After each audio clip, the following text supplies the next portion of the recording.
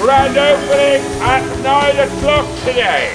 A really important part of our charity that, that we have these shops. And not only do they help generate the income that keeps us flying and keeps us administering like life-saving care to people, but also it helps raise our brand awareness, it helps people know who we are, and it really helps Great Western Air Ambulance Charity become like a part of the wider community. I have been commanded by the Chief Executive Officer,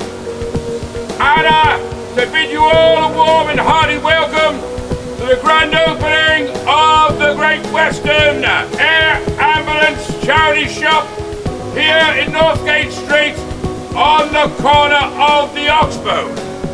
We have a large and varied selection of household items and clothing from the four corners of the globe on the inside of this orgasmic emporium.